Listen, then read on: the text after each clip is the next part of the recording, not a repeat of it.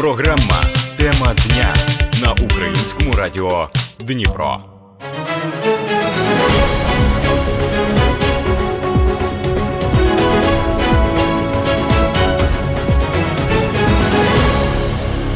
В ефірі Українське радіо Дніпра. Ви слухаєте програму Тема дня у студії ведуча Мальвіна Карпенко.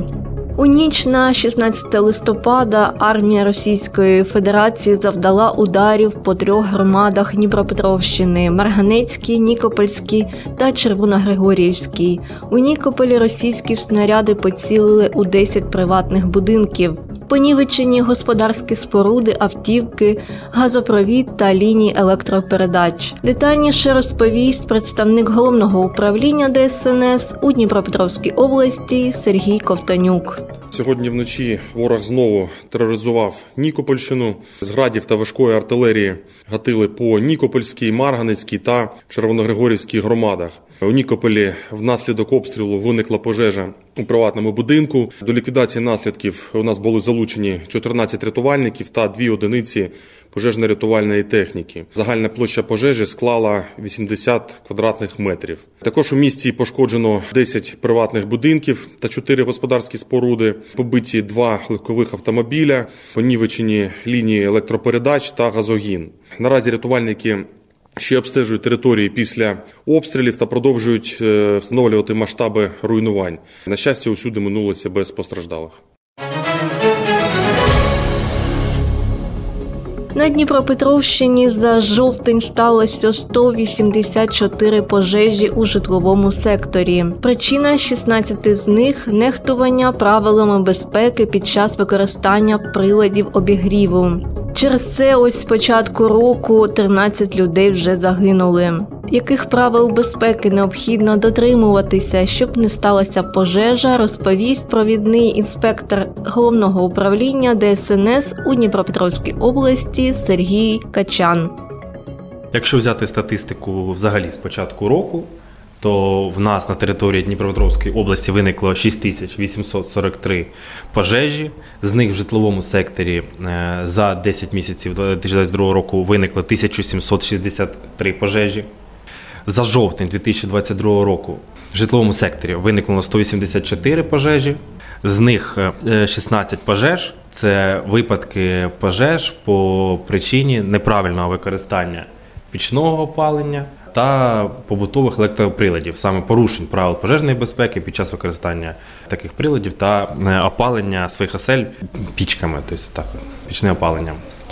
Хотілося б наголосити, що кожен рік, коли в нас розпочинається опалювальний сезон, то пожежі в житловому секторі е, збільшуються. То, е, наприклад, якщо ми візьмемо в порівнянні вересень цього року та жовтень, то в нас в вересні було 153 пожежі. а в жовтні вже 184. Йде е, ріст пожеж е, в житловому секторі, і е, більшість цих причин це саме пов'язано з опаленням своїх осель, тобто порушень правил пожежної безпеки під час опалювання своїх приватних будинків або багато або квартир. У нас або це стаціонарні, наприклад, якісь електроприлади можуть бути обігрівачі різних видів вони є, так і пічне опалення. Тобто, що те, що те при порушені правил пожежної безпеки під час їх використання що пічного опалення, що електроопалювальних приладів може призвести до пожежі. Тому в незалежності від того, яке ви використовуєте, яке більш безпечне, при недотриманні правил використання їх, які прописані в технічній документації, при порушенні правил пожежної безпеки може виникнути пожежа е, в будь-якому випадку. Різні є випадки, якщо візьмемо е, ми живих таких прикладів е, в цьому році, на щастя, ще таких трагічних випадків у нас не було, щоб можна було б навести приклад. А якщо ми візьмемо на приклади минулих років, то це і як у нас загинули літні жінки в пансіонаті для людей похилого віку віку. Тобто там е, була причина того, що приміщення, в якому вони відпочивали, опалювалося кондиціонером. Кондиціонер був е, вімкнений в е, подовжувач, що категорично заборонено як по правилам пожежної безпеки в Україні, так і по документації виробниками. Потім там ознайомлювалися, коли брали участь в комісії Тобто і такий випадок, тут сталося перенавантаження саме подовжувача від е, кондиціонера.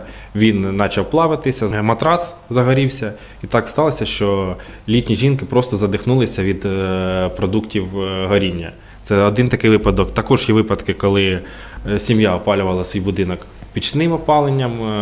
Старші батьки вийшли десь на подвір'я, залишилося троє дітей в будівлі чи бавились, мо- можливо, з цією піччю, чи що щось. Так сталося, що трапилась пожежа, і, на жаль, діти загинули. Тобто батьки прийшли, а в будинку вже пожежа, і, на жаль, дітей врятувати не, вдалося. Тому це такі е, випадки, які показують, наскільки е, трагічними можуть бути випадки під час. Е, опалювального сезону під час порушень правил пожежної безпеки при неправильному використанні електроприладів, пічного опалення і інших приладів, які не призначені для опалювання. Люди, на жаль, використовують їх, наприклад, взяти питання там е, газової плити, яка призначена да, для приготування їжі. Деколи люди не розуміють цього е, та беруть, е, просто запалюють комфортки, розпочинають таким чином опалювати своє житло, що може призвести до трагічних наслідків, так як якщо, наприклад, загасне вогонь, піде в е, газ по приміщенню, може статися вибух, і це зашкодить не тільки е, в вашій оселі, а й сусідам і таке інше. Тому можуть бути дуже різні наслідки. Взагалі, будь-який електроприлад, який є призначений для обігріву, в ніякому разі не потрібно використовувати через е, подовжувач, тому що вони мають ну, велике навантаження на електросистему, і не всі подовжувачі, ну більшість подовжувачів, вони не призначені для таких е, приладів, тому може статися не загорання, наприклад, самого приладу, тому що він там е, заводський, він е, використовується правильно, все інше, але те, що він вімкнений подовжувач, е, стане причиною саме загорання подовжувача із-за перенапруження його. Розповсюдження пожежі саме в житловому секторі, де дуже багато горючого навантаження, воно максимально швидке. Тому часу там, е, щоб загасити пожежу, майже не буде в людини, яка побачить, виявить її там на ранній стадії.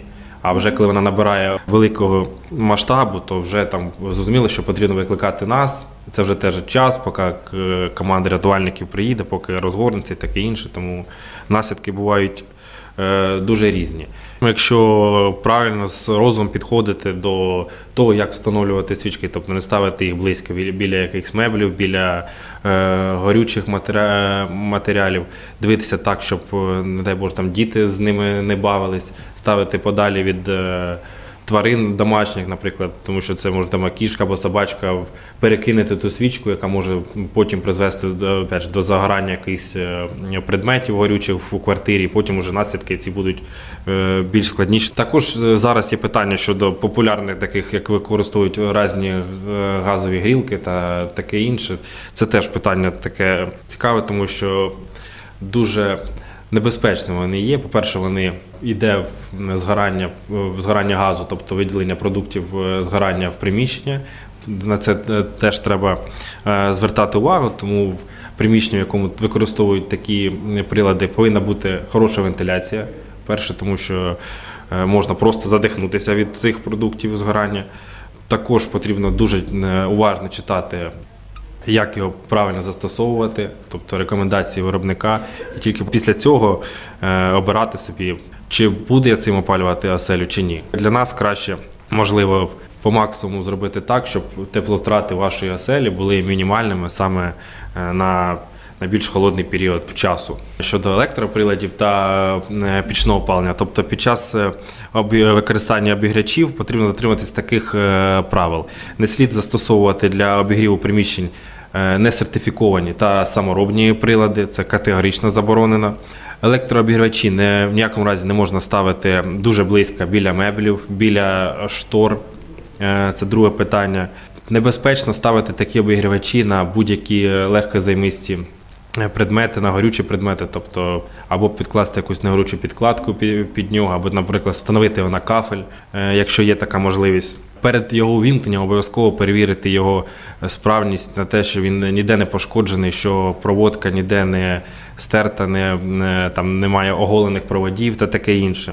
Також обов'язково ви, коли вмикаєте такі електроприлади, потрібно в першу чергу зрозуміти, чи ваша електромережа витримає такі навантаження. Тобто, якщо хочете придбати якийсь електрообігрівач, вам треба сразу зрозуміти, чи ви готові, чи ваша електромережа готова витримувати напруги, які буде давати цей е, обігрівач. Також не потрібно вмикати дуже багато електроприладів, які мають велике навантаження в своїй оселі одночасно, щоб не перевантажувати е, систему. Також е, необхідно постійно очищувати ці обігрівачі від пилу. Тому що цей пил теж між може спалахнути від нагрівання. В якому разі не залишати ці електрообігрівачі вімкненими, покидаючи оселю. Також е, е, ДСНС завжди рекомендує на ніч ніколи не залишати їх вімкненими. Краще зігрітися там в одіялі, одягти якийсь теплий одяг і відпочивати саме в ньому. Тому що коли ви спите, ви навіть можете не зрозуміти, що там пішло задимлення, а більшість випадків е, загибелі людей на пожежах це саме від продуктів горіння, а не від температури і таке інше. Це що стосується електропалення. Щодо пічного опалення, тобто тут е, не потрібно залишати печі, які топляться без догляду, доручати, е, щоб дитини е, дивилися за цією піччю, розміщувати паливо та інші горючі матеріали біля пічей. Ніякому разі не розпалювати ці пічі легкозаймистими рідинами, використовувати спеціальні е, вентиляційні шахти для е, пічей. Також обов'язково потрібно очищати димові шахти, так щоб вони завжди були очищені. Ну, Це такі основні правила щодо використання того чи іншого виду опалення. Зараз у нас проводяться такі масові роз'яснювальні роботи, саме е, можна сказати так, ніжками, тобто у нас проводяться рейди, відпрацьовуються або якісь певні вулиці, якщо це приватний сектор, або це якісь житлові квартали, якщо це місто. Тобто людям роз'яснюються правила пожежної безпеки під час використання е, приладів е, опалення, роздаються спеціальні листівки, тобто ми щороку їх е, розробляємо, тобто там зазначені основні. Правила, як потрібно себе поводити в побуті, це щодо дорослого населення, тобто такі рейди. Щодо більш меншого віку, це діти, тобто це Уроки безпеки проводяться. Зараз вони більше онлайн проводяться з дітьми, так як е, е, діти навчаються в онлайн е, режимі. Також проводяться якісь відеоігри з ними, відеоуроки. Тобто таким чином намагаємося навчати і менше покоління, щоб вони також знали, як потрібно себе поводити з такими предметами під час різних надзвичайних ситуацій та таке інше. Тобто, якщо ми влітку у нас більше йде роботи на пожежах в екосистемах, то ми там проводимо роз'яснену роботу більше, то зараз в під час опалювального сезону настанням холодів, то це відпрацювання саме житлового сектору в різних е, районах міста та області. Категорично заборонено використовувати прилади сумнівної якості, незрозуміло, що зроблені. Тому ми хотілося б звернутися до всіх е, громадян, до всіх е, жителів нашої області, нашого міста, щоб в ніякому разі ви не використовували ні саморобні прилади опалення, не купляли якісь види опалення, які виглядять в сумнівної якості, я би сказав так. Тобто є спеціальні місця, де продають. Е, запитайте у продавця сертифікат, де він вироблений, ознайомтесь, і тільки після цього купляйте даний прилад та його використовуйте.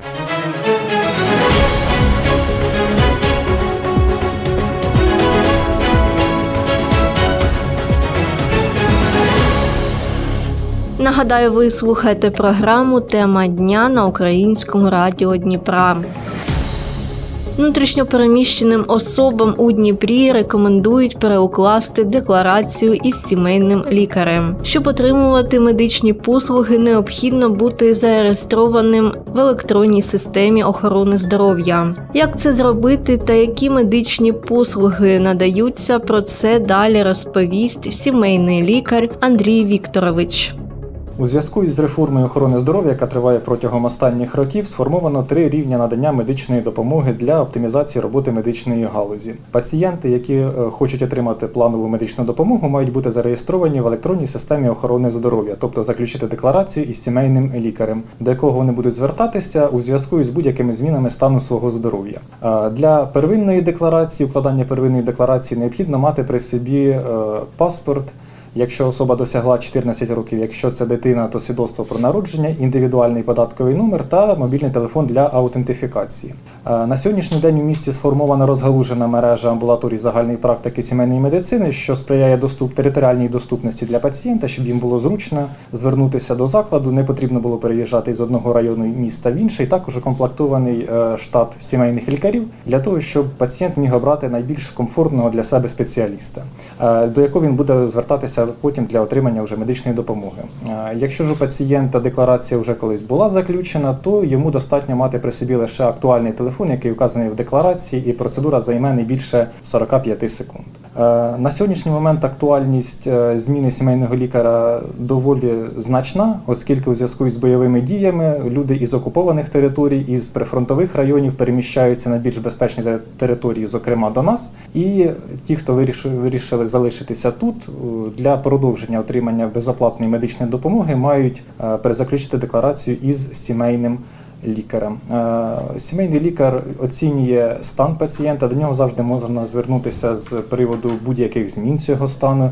У сімейного лікаря можна отримати план лікування захворювання, якщо воно виникне. Е, На базі первинної медико-санітарної допомоги можна пройти лабораторне обстеження, зокрема загальний аналіз крові, загальний аналіз сечі, визначити рівні глюкози та холестерину. Також пройти електрокардіографічне обстеження. Якщо сімейний лікар вважає, що пацієнту необхідна консультація більш вузького спеціаліста, він може отримати направлення до такого або ж пройти також більш поглиблене медичне обстеження. Люди, які перемістилися, але ще не мають декларації, рекомендовано заключити їх у скоріший термін, оскільки наближається холодна пора року, зросте кількість захворювань. Ну і тому варто зайнятися цим, поки ви ще не хворі, і у вас є для цього час. На сьогоднішній момент у нашому центрі зареєстровано 1124 внутрішньопереміщених особи, так що готові прийняти всіх бажаючих. Також можна отримати вакцинацію від коронавірусу і щеплити свого свою дитину згідно календаря профілактичних щеплень. Є лікарі, які вже набрали свій штат пацієнтів. Є лікарі, зокрема молоді спеціалісти, які ще в процесі набору. Тобто кожна амбулаторія старається взяти собі одного або декількох молодих спеціалістів для того, щоб постійно можна було надавати послуги пацієнту. Ну і звісно ж, ті лікарі, які вже в принципі у яких штат пацієнтів укомплектований е, в силу життєвих причин люди йдуть, люди переїжджають, також декларації розриваються і поступово такий от плин пацієнтів він спостерігається, тому нікому не буде відмовлено. На початку цієї війни то допомога надавалася в принципі без декларації, без нічого. Люди приходили, сиділи в чергах, оскільки все-таки все зараз іде по запису. Доводилося сидіти в чергах, люди просто отримали допомогу і йшли. Але вони потім з часом переїжджали на західну частину України, там вже більше сідали. Люди, які залишилися тут, вони вже зрозуміли, що обрали це місто як своє, в якому вони планують залишитися, і перезаключили декларації. Пацієнт бере документи з собою, зокрема паспорт, індивідуальний податковий номер і мобільний телефон. Це все, що йому потрібно. Він дивиться в інтернеті, де знаходиться найближче до нього амбулаторія, і приходить до нас, записується на прийом через реєстратуру, і в принципі е, зразу підходить до сімейного лікаря. Лікар його знаходить в системі, надсилає йому смс із кодом для аутентифікації. Е, Пацієнт називає ці чотири цифри, вся декларація перезаключена, і пацієнт змінив собі сімейного лікаря. Тобто процедура займає ну не більше хвилини. Бувають ситуації, коли пацієнти втрачають мобільний телефон, який був внесений в декларації раніше. Тоді вже процедура трішки складніша. У пацієнта збираються його особисті дані, відправляються в Національну службу здоров'я України в Київ. Там видаляється телефон. Ну це не більше дня-двох займе така процедура. Програма Доступні ліки включає в себе перелік препаратів, які пацієнти можуть отримати зі знижкою від держави. Тобто держава компенсує частину вартості, і пацієнт уже доплачує за або отримає безкоштовно препарат, якщо держава компенсує 100% його вартості, або якщо це препарат імпортний і більш дороговартісний, то е, потрібно буде доплатити пацієнту різницю. В цю програму входять препарати для ендокринних пацієнтів, е, зокрема метформін, гліклазид, і препарати для пацієнтів із ішемічною хворобою серця, артеріальним підвищеним артеріальним тиском. Самі ходові це бісопролол, енелаприл, лізінаприл, також е, симвастатин для контролю рівня холестерину. Тобто всі ці препарати можна щомісяця отримувати зі знижкою. І, на жаль, не всі про це ще знають. В декларації потім, навіть якщо вже це для першого разу пацієнта необхідно подивитися, оцінити його стан, оцінити, які препарати йому потрібні, виписати ці препарати. А наступні він вже може просто отримувати, зв'язавшися в телефонному режимі з лікарем або з медсестрою, і навіть не виходячи з дому, отримати рецепти на ці препарати і зразу підійти в аптеку, не витрачати свій час.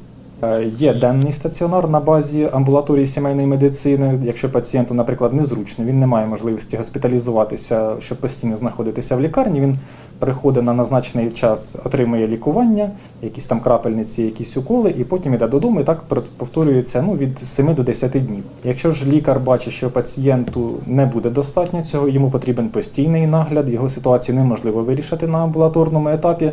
Лікар видає направлення на госпіталізацію в профільний стаціонар.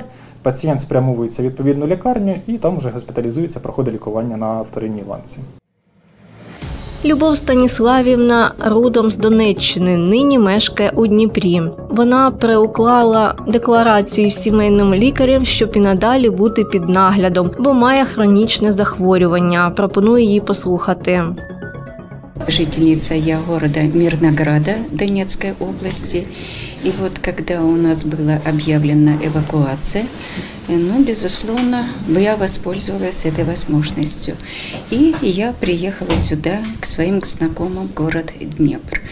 Ну, потому как э, в своем-то возрасте я пришла сюда для того, чтобы пролечиться. Пролечиться по диагнозу, потому что у меня сахарный диабет, и я на инсулине, и каждые полгода я прокапываюсь. Поэтому я пришла сюда для того, чтобы продлить свои вот эти вот все необходимые лечения.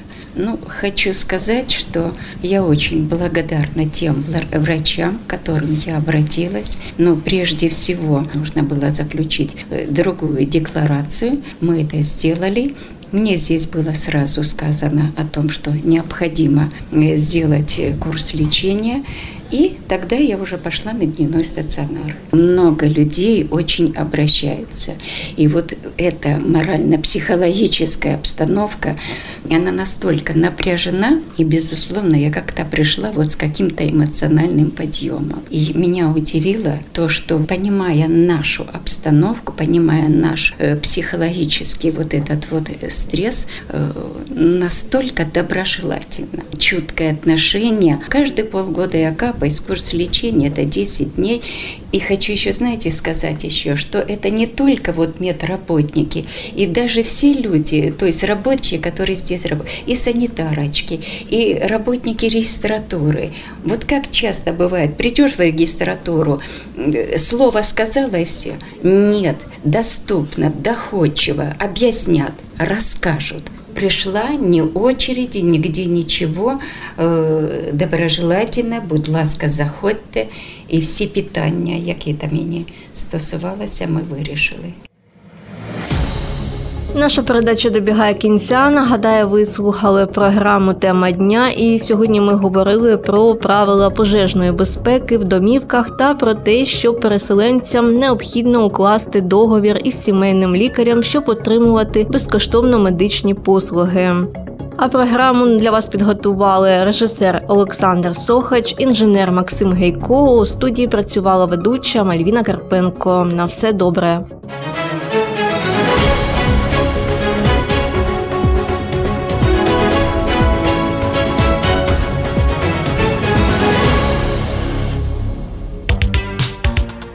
Програма Тема дня на українському радіо Дніпро.